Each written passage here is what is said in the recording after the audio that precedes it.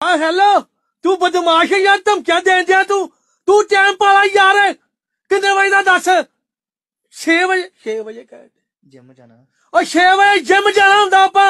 ਹੋਰ ਦੱਸ ਤੂੰ। 8:30 ਰੋਟੀ। 8:30 ਆਪਾਂ ਰੋਟੀ ਖਾਣੀ ਹੁੰਦੀ ਏ। ਤੂੰ ਟਾਈਮ ਪਾਲਾ ਯਾਰ।